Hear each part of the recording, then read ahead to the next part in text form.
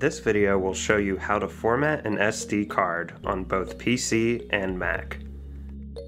Be sure to back up all the important data you want to keep before formatting the card. Use the clickable sections below to keep track of what step you're on during this tutorial.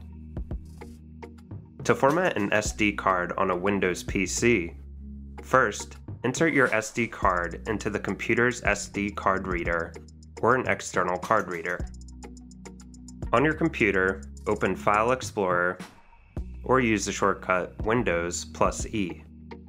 Then click on this PC in the column on the left-hand side. Open the SD card in the device list. At the top of the File Explorer window, click the tab labeled Manage, then click Format. You can select which file system you want to format the SD card to using the drop-down list under File System.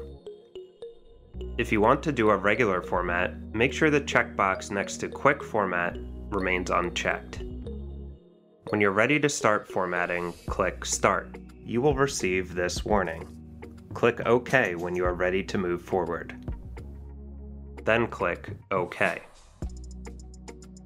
Once the process is finished, you can eject the SD card and then remove it from your SD card reader.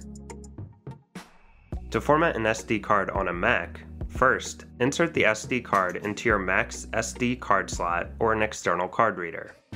On your computer, open Finder. From the menu bar at the top, click Go, and then Utilities. Open Disk Utility. In the left side column, click on the SD card. In the upper portion of the window, click Erase. You can select which format you want to format the SD card to using the drop-down list next to Format. Click Erase to format the SD card. Once the process is finished, you can eject the SD card and then remove it from your SD card reader.